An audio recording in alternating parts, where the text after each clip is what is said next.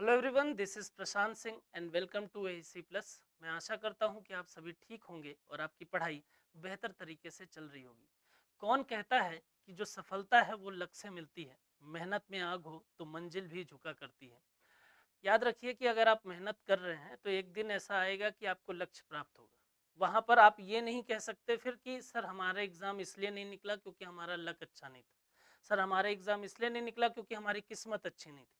अगर आप मेहनत कर रहे हैं तो आपकी किस्मत को बदलना पड़ेगा। बात समझ में आ रही है? तो इसी एटीट्यूड इसी विचारधारा के साथ में पढ़ाई जो है, वो करते रहिए और सफलता आपके कदम ज़रूर चूमेगी। आइए देखें जो क्वेश्चन ऑफ़ द डे था, वहाँ पर मैंने आपसे जो क्वेश्चन पूछा था, वो क्या था? Which of the following statement is true about Chandrayaan two इनमें से कौन सा स्टेटमेंट है जो चंद्रयान दो के बारे में सही है? तो आइए देखें स्टेटमेंट क्या है? Chandrayaan two is a indigenous mission, यह एक स्वदेशी मिशन था। आपको पता है, बिल्कुल ये स्वदेशी मिशन था और ये पहला स्टेटमेंट पूरे तरीके से सही है। Chandrayaan two moon mission launch date is delayed बिल्कुल इसकी डेट में डिले हुआ था। और ये 15 जुलाई दो 2019 को ये लॉन्च होने वाली थी और अगर हम बात करें तो ये 22 जुलाई 2019 को लॉन्च की गई थी तो डेट में भी चेंजेस हुए थे। और थर्ड पॉइंट की अगर मैं बात करूँ तो यहाँ बोल रहा है कि during Chandrayaan two launching a technical snag was observed in launch vehicle system T56 minute ये भी बिल्कुल सही है कि T56 मिनट में लॉन्च व्हीकल सिस्टम में तकनीकी खराबी जो है, वो देखी गई थी। तो यहाँ पर जब आप बात करेंगे तो आपको ये पता चलेगा कि यार चंद्रयान दो से संबंधित ये जितने भी स्टेटमेंट यहाँ पर दिए गए हैं, पूरे तरीके से सही हैं। तो यहाँ पर इसका आंसर जो है वो क्या हो जाएगा? ऑल ऑफ़ द अब हो जाएगा। बात समझ में आ रही है? तो मैंने आपको बताई दिया है कब लॉन्च होने वाला था फिफ्टींथ जुलाई को, और हुआ कब था, बाईस जुलाई को। बात समझ में आ रही है? चलिए। हमारा जो आज का क्वेश्चन है क्वेश्चन नंबर फ़र्स्ट वो बोल रहा है कि world day for international justice is celebrated on अंतर्राष्ट्रीय न्याय के लिए विश्व दिवस कब मनाया जाता है? तो वो मनाया जाता है सत्रह जुलाई को, और हाल ही में अंतर्राष्ट्रीय इंटरनेशनल जस्टिस डे जो है वो मनाया गया है। कब मनाया गया है? सेवनटीन जुलाई को मनाया गया है। अगर हम बात करें किसके लिए मनाया जाता है तो established an international criminal justice system एक इंटरनेशनल क्रिमिनल जस्टिस सिस्टम को डेवलप करना है और साथ ही साथ प्रमोट करना है राइट्स ऑफ़ विक्टिम्स समझ में आ रही है? तीसरा, अगर हम इसमें बात करते हैं कि सर, इसकी थीम क्या थी? तो theme for the world international day of justice for the year 2023 is overcoming obstacles and unleashing opportunities for social justice इसकी थीम थी सामाजिक न्याय के लिए बाधाओं पर काबू पाना और अवसरों को उजागर करना। बात समझ में आ रही है? तो याद रखिएगा कि world international justice day seventeen of July को मनाया जाता है और इस साल भी सेवनटीन जुलाई को मनाया गया है। राइट? क्वेश्चन नंबर सेकंड की बात करते हैं कि doctor Mangala Narlikar pass away at the age of 80 doctor Mangala Narlikar जो है, वो अभी 80 वर्ष की उम्र में उनकी मृत्यु हो गई है और वो किस फ़ील्ड से संबंधित हैं तो आप याद रखिए। अगर आप इनको जानते होंगे तो ये बहुत ही फ़ेमस पर्सनालिटी है और मतलब अगर आप थोड़ा बहुत भी न्यूज़ से जुड़े होंगे तो आपको इनके बारे में पता होगा। और अगर हम बात करें तो डिफरेंट डिफरेंट सिर्फ़ इंडिया तक ही नहीं, बल्कि वर्ल्ड वाइड अगर आप देखें तो विश्व की अलग अलग जगहों पर जितनी भी फ़ेमस यूनिवर्सिटीज़ हैं, उनमें से कई में इन्होंने अपना योगदान जो है वो दिया हुआ है। किसके माध्यम से? तो ये किससे संबंधित हैं? ये मैथमेटिशियन है, ये गणितज्ञ हैं और ये अलग अलग यूनिवर्सिटीज़ में इन्होंने पढ़ाकर अलग अलग लोगों को शिक्षित भी किया है। बात समझ में आ रही है? तो किससे संबंधित है ये मैथमेटिशियन है? प्रसिद्ध गणितज्ञ और वैज्ञानिक डॉक्टर मंगला नार्लिकर एट्टी अस्सी वर्ष की उम्र में इनकी मृत्यु हो गई। कैंसर से ये पीड़ित थी उन्नीस से उन्नीस सौ छियासठ के बीच। इंस्टीट्यूट ऑफ़ फंडामेंटल रिसर्च के गणित स्कूल में एक सहयोगी शोधकर्ता के रूप में इन्होंने काम किया और इंग्लैंड के कैम्ब्रिज विश्वविद्यालय में भी ये गणित के रूप में व्याख्यान अपना प्रस्तुत कर चुकी हैं। बात समझ में आ रही है? चलिए, क्वेश्चन नंबर थर्ड की बात करें। Who has been appointed as the director general of Indian coast guard हाल ही में किसको भारतीय तटरक्षक बल के महानिदेशक के रूप में नियुक्त किया गया है? तो उनका नाम है राकेश पाल। राइट बहुत ज़्यादा इंपॉर्टेंट तो नहीं है, लेकिन फिर भी आप ये याद रखिए कि किसको किया गया है तो राकेश पाल को किया गया, बाकी बहुत ज़्यादा थ्योरी जो है वो यहाँ पर ज़रूरी नहीं है। ठीक है, चलिए क्वेश्चन नंबर फोर की बात करते हैं। Ravindra Mahajani passed away at the age of seventy four अगर हम बात करें रविंद्र महाजनी की तो जिनकी चौहत्तर वर्ष की आयु में मृत्यु हो गई है, वो किससे संबंधित थे? देखिए, हो सकता है इनको ना पहचाने, लेकिन इनकी जो अभी की हाल ही की फ़ोटो थी आप इनको ज़रूर जानेंगे। और वो किससे संबंधित थे? वो एक एक्टर थे अभिनेता थे खासकर वो मराठी मूवी में इनके योगदान को आ, कभी भुलाया नहीं जा सकता। और इन्होंने बॉलीवुड की भी कई मूवीज़ जो हैं कई सीरियल जो हैं उसमें अपना अहम योगदान दिया है। तो ये किससे संबंधित है? रविंद्र महाजनी ये अभिनेता है। बात समझ में आ रही है? चलिए, इनकी पहली फ़िल्म की अगर बात करूँ तो 1975 में एक मराठी फ़िल्म थी जिसका नाम था झुंझ। वहाँ से इन्होंने अपनी शुरुआत की थी। Question number five, most important question number five की अगर मैं बात करता हूँ तो with which of the following countries has India signed three M O U on 15th July 2023 in the banking and education sector? यहाँ पर अगर हम बात करें तो हम बात करते हैं कि भाई अभी हाल ही में भारत ने किस देश के साथ में तीन एमओयू मेमोरेंडम ऑफ़ अंडरटेकिंग जो है वो साइन किए हैं? तो याद रखिएगा कि वो किसके साथ में साइन किए हैं? वो किए हैं यूएई के साथ में, वो यूनाइटेड अरब अमीराट्स के साथ में। आप देखेंगे तो भारत का एमओयू जो है वो साइन किया गया। अगर मैं यूएई की बात करता हूँ तो यूएई के अगर मैं प्रेसिडेंट की बात करूँ तो उनका नाम है Mohammed Zayed Al Nahyan president की अगर मैं बात करूँ यूएई के तो उनका नाम है Mohammed Zayed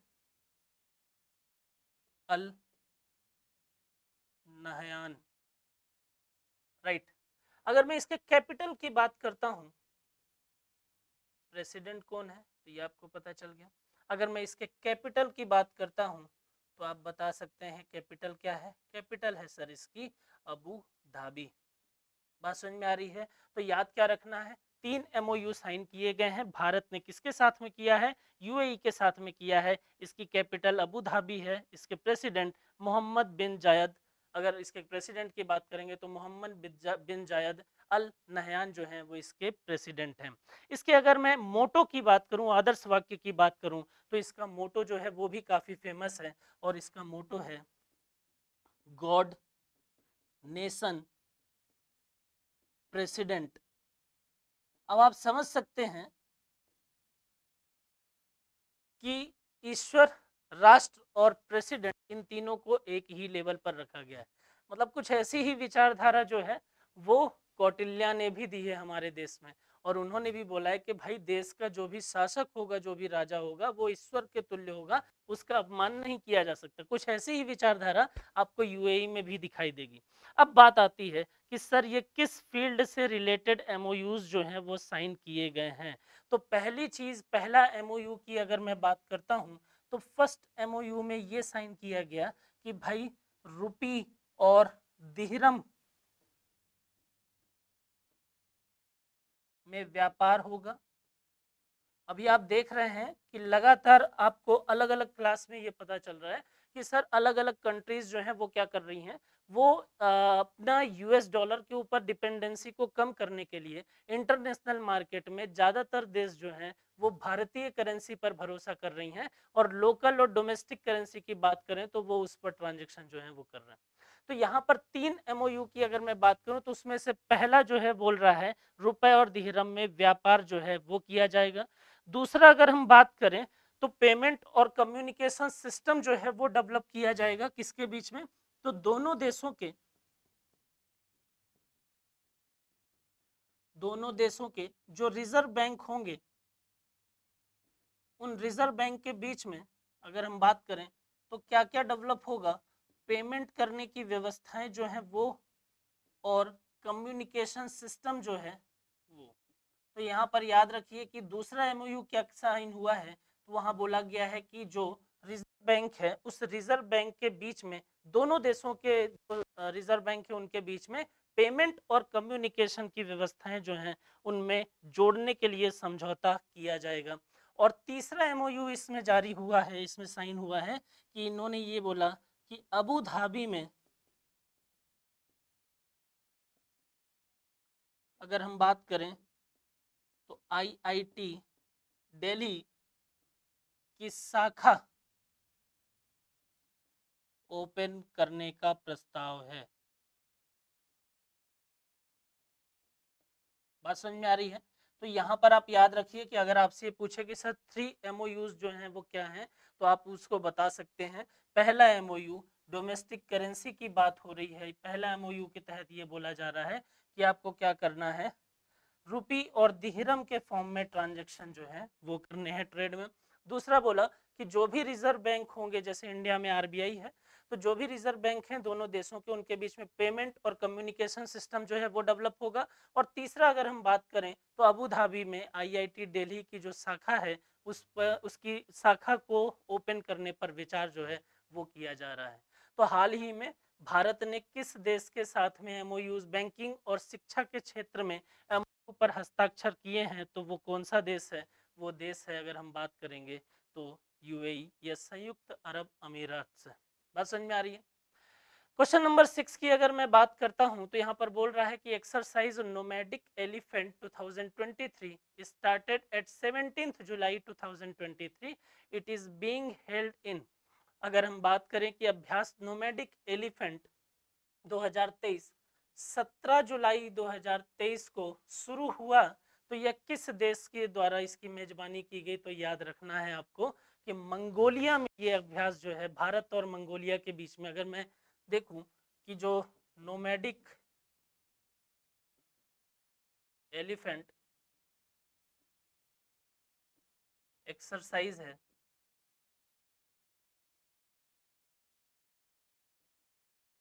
to thousand twenty three वो किन दो देशों के बीच में होती है? तो याद रखिए कि वो इंडिया एंड मंगोलिया। ठीक है? वो किसके बीच में होती है? इंडिया और मंगोलिया के बीच में।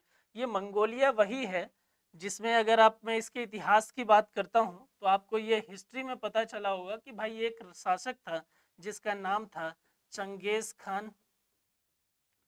और चंगेज खान ने एक साम्राज्य स्थापित किया था, जिसको बोलता जाता था मंगोल साम्राज्य। बात समझ में आ रही है धीरे धीरे इसी में परिवर्तन होता चला गया और वो मंगोलिया से द्वारा पहचाना जाने लगा। तो यहाँ पर अगर आप इतिहास की बात करेंगे तो अगर आपसे पूछे मंगोल साम्राज्य की स्थापना किसने की है तो वो की है चंगेज खान ने। काफ़ी क्रूर शासक के तौर पर ये पहचाना जाता था। अब ये किसके किसके बीच में होती है तो ये भी आपको क्लियर हो गया कि सर ये भारत और मंगोलिया के बीच में होती है।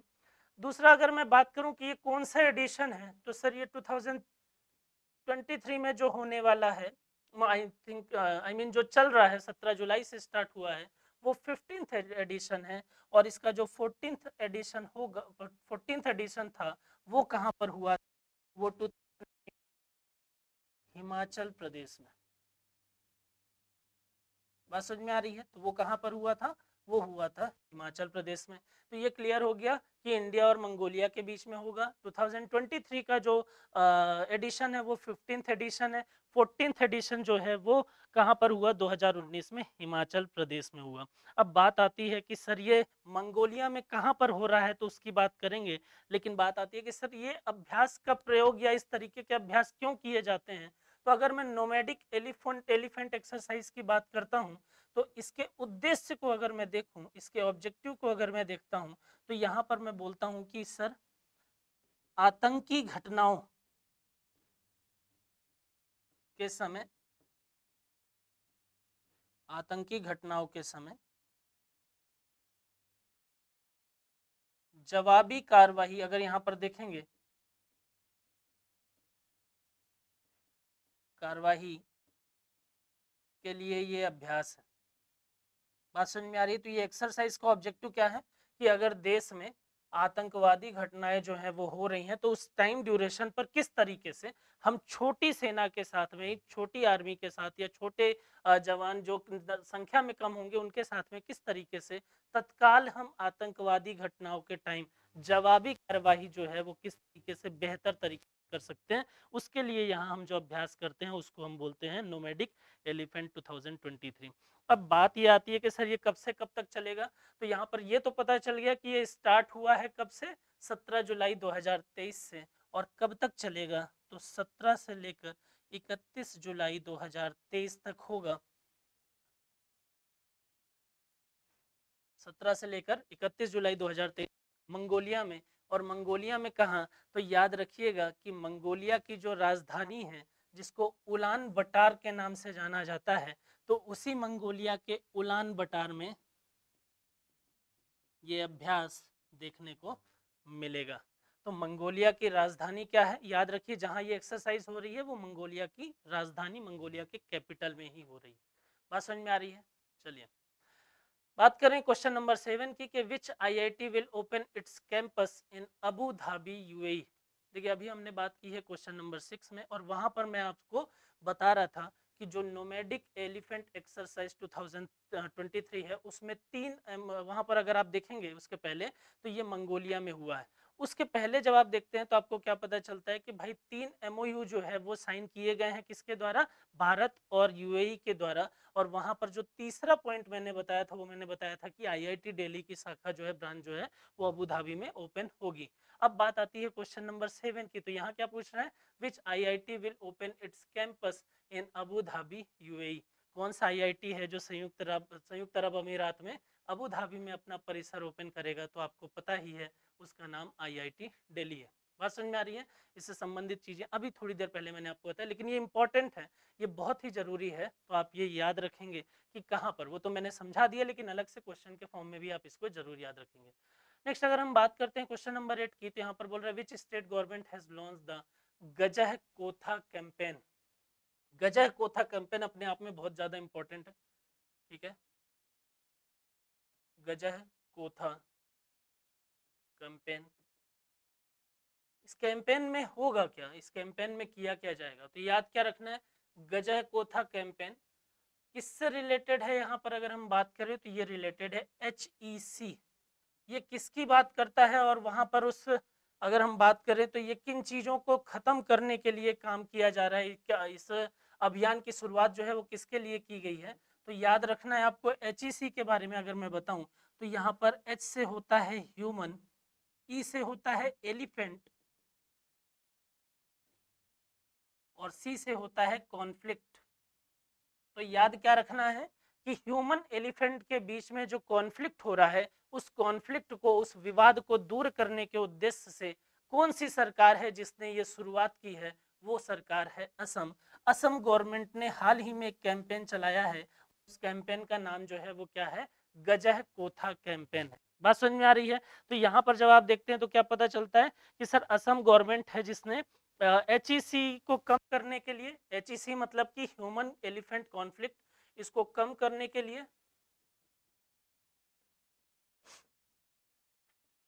यहाँ अगर मैं बात करूँ तो एच e को कम करने के लिए असम सरकार ने क्या किया है? आ, मतलब ह्यूमन एलिफेंट के बीच में जो विवादित स्थिति बन रही है लगातार उन जगहों पर तो उन जगहों पर पायलट प्रोजेक्ट के तहत इस कैंपेन को चलाया है और वहाँ से ये कोशिश कर रही है कि मानव और एलिफेंट के बीच में जो विवादित स्थिति है वो क्या हो सके, वो खत्म हो सके। बात समझ में आ रही है? अब बात ये आती है कि सर इसमें ज़रिए करेंगे क्या? तो इस कैंपेन के ज़रिए अगर मैं बात करूँ तो यहाँ याद रखिए कि इसके ज़रिए जागरूक किया जाएगा, किसको इसके ज़रिए जागरूक करेंगे, इसके ज़रिए शिक्षित करेंगे, इट एजुकेट। किसको एजुकेट करना है तो वहाँ पर ह्यूमन को एजुकेट करना है। किसके लिए करना है ताकि ह्यूमन एलिफेंट कॉन्फ्लिक्ट जो है वो खत्म हो? अब इसके ज़रिए होगा क्या? किस किस प्रकार की चीज़ें देखने को मिलेंगी? तो याद रखना है कि यहाँ पर बताया जाएगा कि एलिफेंट बिहेवियर क्या है। बात समझ में आ रही है? दूसरा अगर हम बात करें तो यहाँ पर बताया जाएगा कि एलिफेंट का कल्चर जो मतलब यहाँ पर जो क्षेत्र विशेष है उस क्षेत्र विशेष में संस्कृति किस प्रकार की है, उस क्षेत्र विशेष में कल्चर किस प्रकार का है, वो यहाँ पर बताया जाएगा। और तीसरा अगर हम बात करें तो इस कैंपेन कैंपेन के थ्रू इकोलॉजी जो है, वो भी वहाँ पर समझाई जाएगी। तो आप याद रखिए कि गजय कोता कैंपेन के तहत असम सरकार जो है, वो क्या कर रही है? वो मनुष्यों को और वहाँ रहने वाले लोगों को एलिफेंट के व्यवहार के बारे में, उस एरिया की संस्कृति के बारे में, उस एरिया के इकोलॉजी के बारे में वो उनको शिक्षित करेगी और वो ये अनुमान लगा कर चल रही है, वो इस एम को बनाकर चल रही है कि हम इस कैंपेन के माध्यम से ह्यूमन एलिफेंट कॉन्फ्लिक्ट या जिसको आप एच के नाम से जानते हैं, उस कॉन्फ्लिक्ट को हम क्या कर सकते हैं? ख़त्म कर सकते हैं। बात समझ में आ रही है। नेक्स्ट अगर मैं बात करूँ असम की तो यहाँ पर अगर आप देखेंगे तो असम के वर्तमान सीएम अगर देखिए तो इनका नाम है विश्व पूरा नाम अगर हम देखें तो यहाँ पर याद रखिएगा कि असम के जो सीएम है, उनका नाम है हेमंत।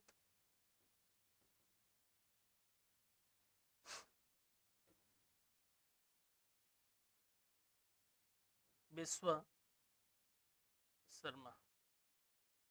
समझ में आ रही है। तो वो ये काफ़ी ज़्यादा पॉपुलर हैं, काफ़ी न्यूज़ में भी रहते हैं अपने बयानों को लेकर, ठीक है? हिंदुत्व राष्ट्र को लेकर ये भी काफ़ी न्यूज़ में बने रहते हैं। तो ये अभी हाल ही में असम के कौन है? हेमंत विश्व शर्मा, ये वहाँ के सीएम हैं। और गवर्नर की अगर मैं बात करूँ तो गुलाब चंद कटा, कटारिया जो है वो वहाँ पर गवर्नर के पद पर विद्यमान। गुलाब चंद कटारिया। बाकी असम की राजधानी क्या है आपको पता ही है, ठीक है? तो इतनी चीज़ें जो है वो आप याद रखिए, ठीक है? क्या क्या देख लिया आपने? गजाकोता कैंपेन जो है वो किसने चलाया है? वो चलाया असम गवर्नमेंट ने। असम की राजधानी जो है वो क्या है? वो है गुवाहाटी। असम के सीएम कौन है? तो हेमंत विश्व शर्मा है। गवर्नर कौन है? गुलाब चंद्र कटारिया है। किसके लिए चलाया गया है? तो एच को कम करने के लिए, ह्यूमन एलिफेंट कॉन्फ्लिक्ट को कम करने के लिए। क्या करेगा? तो ये एजुकेट करेगा। किसको एजुकेट करेगा? ह्यूमन को। किन चीज़ों को लेकर, किन सब्जेक्ट को लेकर? तो elephant behaviour culture and ecology को लेकर ये वहाँ पर क्या करेगा? शिक्षा प्रदान करेगा और शिक्षित करेगा ताकि मानव और हाथी के बीच में जो विवादित स्थिति उत्पन्न हुई है उन क्षेत्रों पर, उन जगहों पर तो उसको क्या किया जा सके? धीरे धीरे खत्म किया जा सके। बात समझ में आ रही है? ठीक है। क्वेश्चन नंबर नाइन की अगर मैं बात करूँ तो यहाँ पर बोल रहा है कि which of the following statement is correct इनमें से कौन सा स्टेटमेंट है जो सही है? देखें अगर। Standing committee on economic statistics setup in 2019 will be replaced by a standing committee on statistics SCOS second अगर हम देखें तो बोल रहा है प्रणव सेन, इनका नाम है Pranab Sen will be the chairman of the new committee ठीक है, यहाँ आप देखेंगे तो आपको ये पता चलेगा कि भाई स्टेटमेंट फ़र्स्ट और स्टेटमेंट सेकंड दोनों ही पूरे तरीके से सही हैं। और वर्तमान में जो कमेटी के हेड बनाए गए हैं चेयरमैन बनाए गए हैं न्यू कमेटी के, उनका नाम है प्रणब सेन। बात समझ में आ रही है? आइए देखें क्या है। Government form the panel to review all survey beings conducted under NSO ठीक है? पहली चीज़ तो ये कि सरकार ने एनएसओ के तहत होने वाले सभी सर्वेक्षणों की समीक्षा के लिए एक पैनल का गठन किया है। दूसरा अगर हम बात करें तो 2019 की जो कमेटी थी standing committee on economic statistics उसको रिप्लेस कर दिया गया स्टैंडिंग कमेटी ऑन स्टैटिस्टिक्स के द्वारा, ये ठीक है। प्रणव सेन जो है वो इसके नए चेयरमैन बनाए गए हैं और इस पैनल में कितने सदस्य हैं? तो टोटल दस सदस्य हैं और चार गैर आधिकारिक सदस्य भी यहाँ पर होंगे। तो फ़िलहाल आप इतना याद रखिए। कि जो अगर आपके लिए अगर मैं ज़रूरी बात तो करूँ तो सिर्फ़ यही दो स्टेटमेंट है जो आपके लिए अनिवार्य है कि जो पुरानी 2019 में स्टैंडिंग कमेटी थी इकोनॉमिक स्टैटिस्टिक्स की, उसको रिप्लेस करके एक नई कमेटी आती है जिसको हम स्टैंडिंग कमेटी ऑन स्टेटिस्टिक्स के नाम से जानते हैं और जिसके चेयरमैन जो है वो प्रणव सेन है। बात समझ आ रही है? क्वेश्चन नंबर टेन की अगर मैं बात करता हूँ तो यहाँ पर याद रखिएगा, नाइजीरिया की बात हो रही है। और नाइजीरिया की स्थिति जो है वो बहुत अच्छी अभी हाल ही में नहीं। इसके अगर मैं बात करूँ प्रेसिडेंट की तो क्वेश्चन में ही लिखा हुआ है, याद रखिएगा, इनके प्रेसिडेंट का नाम है बोला टिनुबू राइट? और नाइजीरिया में स्थिति क्या है कि नाइजीरिया में अगर आप देखेंगे तो वहाँ के जो प्रेसिडेंट है बोला टिनुबू उन्होंने क्या किया है? उन्होंने अभी वहाँ पर एक आपातकाल की घोषणा की है। और आपातकाल की ये जो घोषणा की गई है, आपातकाल जो डिक्लेयर किया गया है, उसका रीजन इस बार का जो है वो क्या है? तो वहाँ पर रीजन जो है, वो फ़ूड जो है, खाद्य पदार्थ जो है, अगर मैं बात करूँ तो फ़ूड के प्राइजेस जो हैं वो बहुत ज़्यादा हाई हो रहे हैं और फ़ूड का जो प्रोडक्शन है वो डाउन हो रहा है। मतलब समस्या इस प्रकार की है कि उत्पादन भी नहीं हो रहा है और महँगाई जो है वो भी बन रही है। ये अवश्य बात है इकोनॉमिक का रूल ही है कि अगर प्रोडक्शन या सप्लाई कम होगी तो डिमांड बढ़ने से प्राइस बढ़ जाएँगे। नाइजीरिया में अभी हाल ही में इस प्रकार की समस्या देखी गई और ये देखा गया कि वहाँ पर फ़ूड जो है, खाने वाले जो भी पदार्थ हैं, अगर हम उसकी बात करें तो फ़ूड के प्राइजेस जो है वो बहुत तेज़ी से बढ़ रहे हैं क्योंकि प्रोडक्शन जो है वो कम हो गया। इस प्रोडक्शन के कम होने के कारण और प्राइजेस बहुत ज़्यादा बढ़ने के कारण सरकार ने वहाँ पर आपातकाल की घोषणा कर दी। बहुत नई बात नहीं है नाइजीरिया के लिए। आप देखेंगे और इसके पिछले दो तीन चार साल देखेंगे आप अगर तो आपको ये समझ में आएगा कि बीच बीच में बीच बीच में अलग अलग टॉपिक को लेकर आपातकाल लगता ही रहता है। बात समझ में आ रही है? तो इस समय जो आपातकाल लगा है, वो हाई फ़ूड प्राइजेस के कारण लगा है और वहाँ पर सरकार ने आपातकाल की घोषणा की और उसने ये बोला है कि हम इस आपातकाल से निकलने का प्रयास कर रहे हैं, इसमें लोगों की मदद करने का प्रयास कर रहे हैं। इसके लिए उसने अलग अलग चीज़ों को अपनाया और उसने ये बोला कि यहाँ से हम क्या करेंगे? हम ज़्यादा से ज़्यादा अभी वर्तमान में हम डिफॉरेस्टिंग पर विचार कर रहे हैं और डिफॉरेस्टिंग करके हम वनों की कटाई करके और एग्रीकल्चर के लिए। ज़्यादा से ज़्यादा ज़मीन जो है लैंड जो है, उसमें वृद्धि करेंगे और ये माना जाएगा कि जब ज़मीनें बढ़ जाएँगी, एग्रीकल्चर करने के लिए, खेती करने के लिए लैंड जो है वो इंक्रीज हो जाएँगे तो प्रोडक्शन भी अपने आप बढ़ेगा और प्रोडक्शन जब बढ़ेगा तो प्राइस भी कम हो जाएँगे और सप्लाई जो है वो भी क्या हो जाएगी धीरे धीरे बढ़ती रहे मतलब धीरे धीरे कम हो जाएगी। बात समझ में आ रही है? तो यहाँ पर अगर हम बात करें तो आपको ये पता हो गया कि भाई ये क्या बोल रहे हैं? ये बोल रहे हैं जंगलों के हम एग्रीकल्चर लैंड में इंक्रीमेंट करके एग्रीकल्चर प्रोडक्टर जो है प्रोडक्शन जो है उसको बढ़ा देंगे। अब बात आती है कि सर नाइजीरिया के प्रेसिडेंट तो देख लिए, नाइजीरिया की कैपिटल क्या है? तो ये भी आप याद रखिए कि नाइजीरिया की जो कैपिटल है, वो है अबूजा। हालाँकि बहुत ज़्यादा ज़रूरी नहीं है, आप सिर्फ़ प्रेसिडेंट भी याद रखेंगे तो भी चलेगा। और ये याद रखेंगे कि इसकी जो कंडीशन है, जो इकोनॉमिक कंडीशन चल रही है या जो सिचुएशन है इस देश में, वो किस प्रकार की है? तो भी चलेगा। तो हाई फ़ूड प्राइजेस के कारण यहाँ आपातकाल की घोषणा जो है, वो कर दी गई। बात समझ में आ रहा है? आइए। तो ये हमारे दस क्वेश्चन थे और आई होप कि आपको चीज़ें जो हैं, वो इन क्वेश्चन से रिलेटेड इनके बारे में क्लियर हो गई होंगी। जितना इंपॉर्टेंट है, जो चीज़ें ज़रूरी है, हम उन्हीं पर चर्चा करेंगे। ऐसा नहीं कि कोई एक चीज़ है, उसको बहुत ज़्यादा देख लिए। जितना इम्पोर्टेंट है, जो आवश्यक है, उतनी ही चर्चा की जाएगी। चलिए, आपके लिए जो क्वेश्चन ऑफ़ द डे है, वो ये है कि who is the author of the book prism the ancestral adobe of rainbow तो प्रिज्म द एंसेस्ट्रल एडोब ऑफ़ रेनबो पुस्तक के लेखक कौन है? ये क्वेश्चन मैं पहले आपको बता चुका हूँ। फटाफट आप याद करिए और जल्दी से जल्दी मैसेज कर दीजिए कमेंट कर दीजिए और बता दीजिए कि सर ये बुक जो है वो किसने लिखी है। ठीक है? चलिए फिर आज के लिए इतना काफ़ी है। आप पढ़ाई करते रहिए, खुश रहिए। Thank you so much